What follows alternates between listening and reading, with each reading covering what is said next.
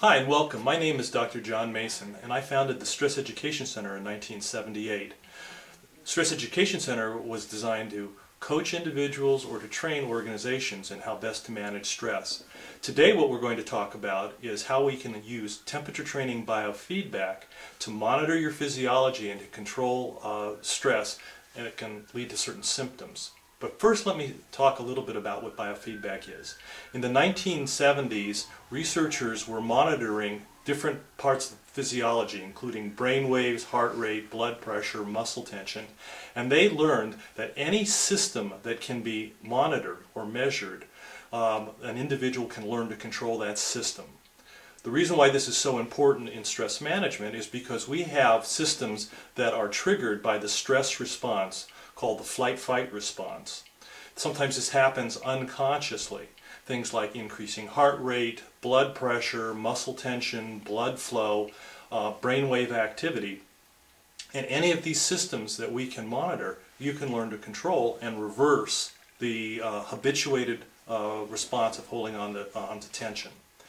So temperature training biofeedback is a very simple form of using a thermometer like this and monitoring hand temperature or foot temperature so you can control your physiology and uh, control your stress.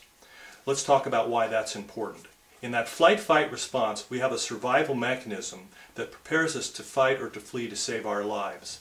If we were in a life or death situation and we were having to fight or to flee to save our lives, there would be less likelihood of us bleeding to death if we get cut in the act of fighting or fleeing.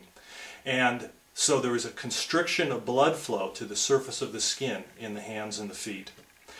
Many people will notice when they're under stress that their hands or feet will get cold. Have you ever been in a social situation like a party or before a presentation and when you shake hands with people you notice that maybe one person's hands are very cool or one person may be warm in comparison with you. Now the types of symptoms that can uh, manifest as a response of holding stress in that system can be things like uh, stress-related high blood pressure, um, poor circulation into the hands and the feet, which could lead to something as severe as a, a, a thing called uh, Raynaud's syndrome. Migraine or vascular headaches can be created or made worse as part of this response. Uh, panic or anxiety, which a lot of people will experience, will manifest as far as cold hands and feet.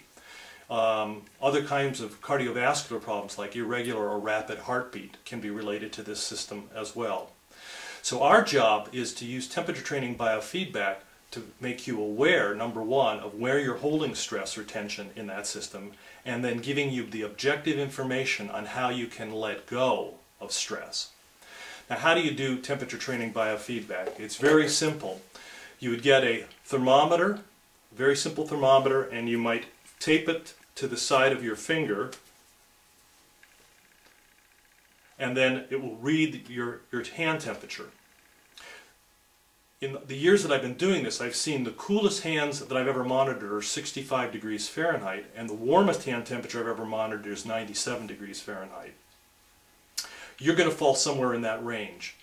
If you do temperature training biofeedback, you put it on the middle joint of your index finger, and what you're going to find is that your hand temperature will run somewhere between the high 60s and perhaps the lower mid 90s. What we want to do is we want you to allow yourself to let go and to warm your hands. Let the vasodilation occur in those blood vessels. You want to warm your hands to 93 to 95 degrees. Once you've done that, then you're not holding stress in that system. Now there are many people who will find rather miraculous results, uh, like reducing or eliminating migraine headaches, their blood pressures going down, um, definitely controlling panic or anxiety, sometimes emotions like anger or rage. These kind of things can be minimized if not eliminated if you can learn to relax and it will manifest as far as increasing your hand temperature. Once you've developed that skill, then you will have the ability to control physical and emotional symptoms. Now in order to do that, there's a couple of other things that you need to know about. Putting a, a, thermometer on your hand is a good way of learning how to relax, but you also might want to invest in listening to guided relaxation exercises. Exercises such as autogenic training phrases or visualization or imagery, some meditation styles. These will enhance that experience and help you to learn how you can translate that, how you can take that warming experience um, with you into day-to-day life and you can minimize the impact of stress that's held in this system and control the stress and control your symptoms. Okay, if you need to know more information, you can visit the Stress Education Center's website at www.dstress.com because we have a list of articles and we have a list of resources and materials like audio programs where you can learn to not only relax but to manage the stress in this particular system. My challenge to you is that you really begin to, to, to use these techniques and, and find the one that works best for you and then use it regularly so that you can control the stress, you can minimize the uh, symptoms that you may be experiencing, and you can improve the quality of your life. Again, this is Dr. John Mason at the Stress Education Center. Thank you for spending a few minutes with me. Good luck to you and good health.